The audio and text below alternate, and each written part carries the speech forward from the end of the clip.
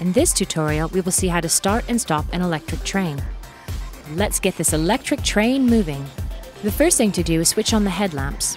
You can do that by pressing the A button on the Xbox controller and selecting the light bulb icon.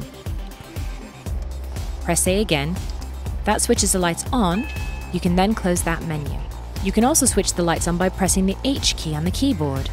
Then you need to select forward, which is done with the left thumbstick, or by pressing the W key on the keyboard. On this particular train, this will sound an alarm, which you must cancel by pressing the A button on the controller or Q on the keyboard.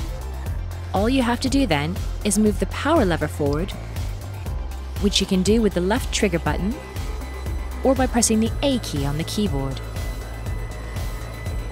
And now you're moving! Next to the red lever, you can see the speed readout, which is the speed that you're traveling at. Underneath that is the speed limit for this section of track. Stopping an electric train is very straightforward.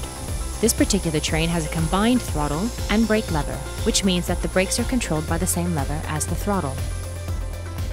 So, you simply press the left shoulder button on the Xbox controller or the D key on the keyboard, and that starts to slow the train down.